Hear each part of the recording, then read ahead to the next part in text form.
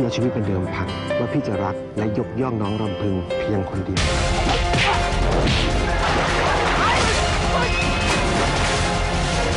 ถ้าอย่างข้าผิดเองที่อาจเอื้อมไปรักคนอย่างท่านหนังหน้าไหนก็มาแย่งของของข้าไม่ได้ทั้งนั้น คนอย่างข้า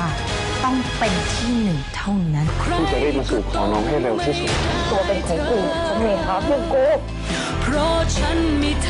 ของของข้าอีหน้าไหนก็ไม่มีวันได้ไปทั้งนั้น